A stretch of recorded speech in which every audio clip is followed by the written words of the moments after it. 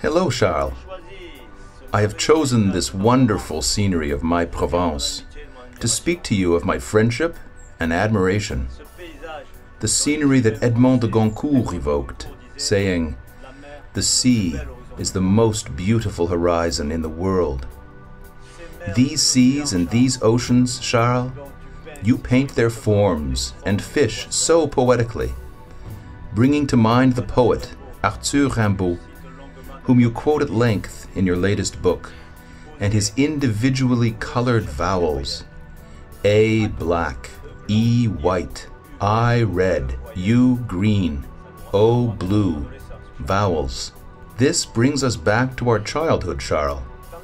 In the preface to your latest book, recounting your life as a man and an artist, I wrote, Charles Carson has left his mark for artistic posterity, because today one refers to a Carson as one would say, it's a Picasso, it's a Basquiat, it's a Matisse, it's a Warhol, and all the other immortal great masters.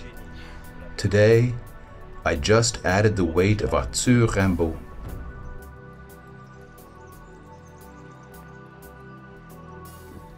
As for me, no matter how busy I am, whenever you call me, my dear friend, no matter the time difference, for you, it's daytime, whereas for me, it's nighttime because I work until 3 a.m. It's always a pleasure to discuss art with you, especially considering my activities in the art world, my role as an expert at customs courts, and as president of Drouot, Cotation des Artistes Modernes et Contemporains, and my involvement in the 10th edition of the Dictionnaire de Cotation des Artistes, the art reference and price guide, which Larousse has been publishing for 10 years, and in which you are always represented among the artists. I regret that there are not enough Canadian artists. We have many French speaking European artists, but we have very few Canadian artists. I am counting on you to create a balance, dear Charles.